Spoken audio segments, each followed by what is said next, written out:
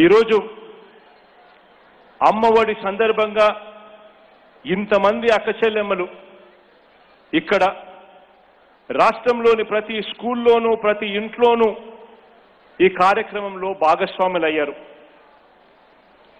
దాదాపుగా నలభై ఐదు లక్షల మంది అక్కచెల్లెమ్మలు అమ్మఒడి ఈరోజు అందుతా ఉంది.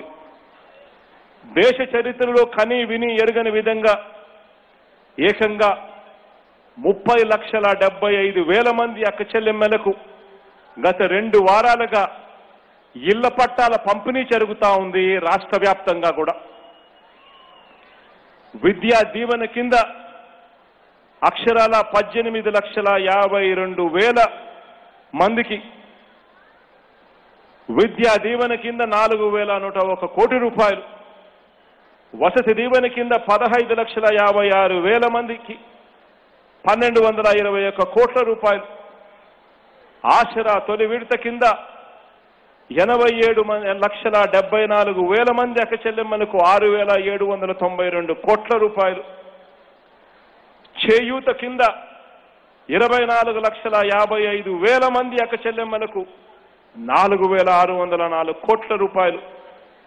పొదుపు సంఘాల్లో ఉన్న అక్క చెల్లెమ్మలకు సున్నా వడ్డీ కింద ఎనభై ఏడు లక్షల అక్క పద్నాలుగు వందల కోట్ల రూపాయలు. కాపు నేస్తం కింద మూడు లక్షల ఇరవై ఎనిమిది వేల మంది అక్కచెల్లెమ్మలకు నాలుగు వందల తొంభై ఒక్క కోట్ల రూపాయలు. ఇలా ఏ కార్యక్రమం తీసుకున్నా మనం మమకారంతో ఇచ్చే ప్రతి ఒక్క రూపాయి కూడా నేరుగా ఎలాంటి వివక్షకు ఎలాంటి అవినీతికి కూడా తావు లేకుండా అక్క చెల్లెమ్మల ఖాతాల్లోకి నేరుగా వెళ్ళేట్టుగా కూడా ఈ కార్యక్రమాలన్నీ కూడా చేస్తా ఉన్నాం. ఈరోజు గర్వంగా కూడా నేను ఈ సందర్భంగా చెప్తా ఉన్నా. ఈ పథకాలన్నింటితో పాటు ఇళ్ళ స్థలమైన ఇళ్ళ నిర్మాణమైన కూడా ఇంటి ఇల్లాలి పేరిటే ఇస్తున్నాం.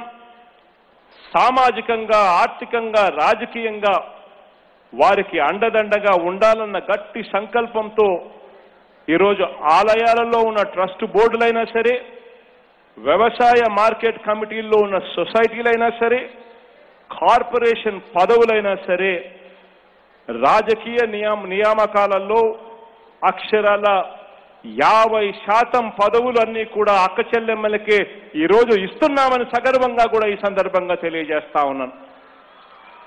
ఏకంగా ఆ అక్క చెల్లెమ్మలకి ఈ మేలు జరిగేట్టుగా చట్టాలే చేశామని కూడా ఈ సందర్భ సందర్భంగా సగర్వంగా చెప్తా ఉన్నా. భారతీయ మహిళా చరిత్రను ఆంధ్రప్రదేశ్లో తిరగ రాస్తున్నామని ఈ సందర్భంగా కూడా గట్టిగా చెప్తా ఉన్నా.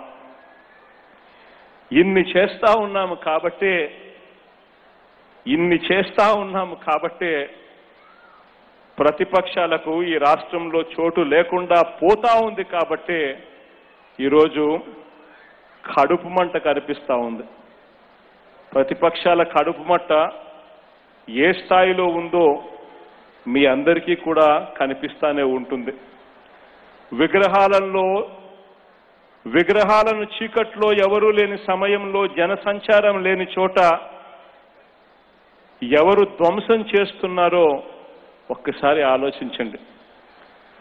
ధ్వంసమైన విగ్రహాలను చూస్తామని ఆ తర్వాత ఎందుకు మళ్ళీ అక్కడికి వాళ్ళు వెళుతున్నారో ఒక్కసారి అర్థం చేసుకోండి. రథాలను ఎవరు తగలబెడుతున్నారో రథయాత్రలు ఆ తర్వాత ఎందుకు చేయబోతున్నారో అన్నది కూడా ఒక్కసారి ఆలోచించండి.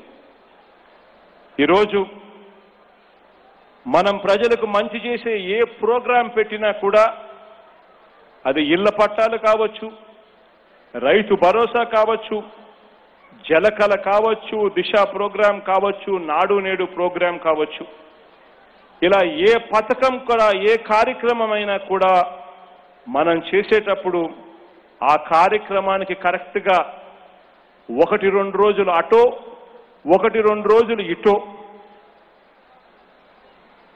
ముందుగానో లేకపోతే తర్వాతనో ఎక్కడో ఒక చోట గుడులను గోపురాలను అదే పనిగా చీకటిలో వెళ్ళి టార్గెట్ చేస్తారు. మనం చేసిన మంచి ప్రపంచానికి ప్రజలకు కూడా తెలియ తెలియకూడదు అనే దుర్బుద్ధితో ఈ కార్యక్రమాలన్నీ చేయడం ఒక్కసారి గమనించమని చెప్పి మిమ్మల్ని అందరినీ కూడా కోరుతా ఉన్నా. ఇలాంటి రాజకీయ వ్యవస్థతో ఈరోజు మనం పోరాటం చేస్తా ఉన్నాం. దేవుడి మీద భక్తి లేని వారు గుడిల్ని పట్టపగలు కూల్చేసి ఆలయాల భూములను కూడా కాజేసిన వారు. చివరికి అమ్మవారి అమ్మవారి గుడులలో క్షుద్ర పూజలు చేసిన వారు. ఉన్నట్టుండి ఇటువంటి వాళ్ళందరూ కూడా కొత్త వేషం కడతా ఉన్నారు ఈరోజు.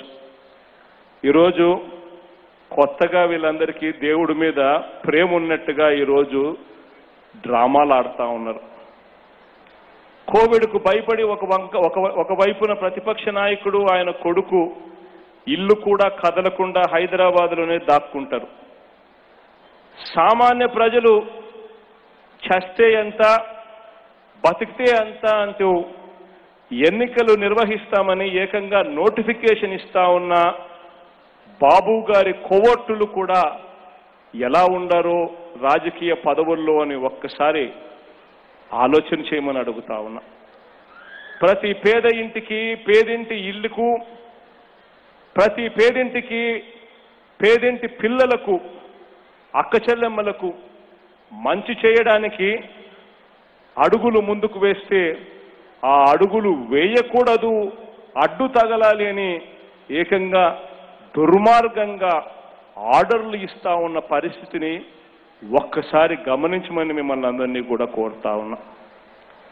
ఈరోజు చీకటి పనులు చేసేవారు వెన్నుపోట్లు తెలిసిన వారు దొంగ దెబ్బ తీసేవారు వ్యవస్థలో ఉన్న కోవటులు. ప్రజలకు మంచి చేసిన చరిత్ర లేదు కాబట్టి మంచి చేస్తున్న ప్రభుత్వాన్ని ఎలా దెబ్బతీయాలి అని చెప్పి ఆరాటపడతా ఉన్న ఈ రాజకీయ శక్తుల్ని ఒక్కసారి గమనించమని కోరుతా ఉన్నా. వీరంతా కూడా నిన్న గుడుల్లో విగ్రహాలు పగలగొట్టారు. రేపు బహుశా బడుల మీద కూడా పడతారేమో. కాస్త అప్రమత్తంగా ఉండండి అని చెప్పి ప్రతి అక్కకు ప్రతి చెల్లెమ్మకు ఈ సందర్భంగా తెలియజేస్తా ఉన్నా. ఈరోజు అక్క చెల్లెమ్మలందరికీ కూడా నేను ఈరోజు విన్నవిస్తా ఉన్నా. ఇలాంటి శక్తుల పట్ల ఇలాంటి వ్యక్తుల పట్ల అప్రమత్తంగా ఉండాలని. మన కుటుంబాలు ఎదుగుతుంటే మన సమాజంలో మంటలు పెట్టడానికి ఈ పార్టీ నాయకులు ముందుకు వస్తా ఉన్నారు. ఇటువంటి వాళ్ళకి గట్టిగా బుద్ధి చెప్పే కార్యక్రమం కూడా చేసే విషయంలో ఆలోచన చేయమని చెప్తా ఉన్నా.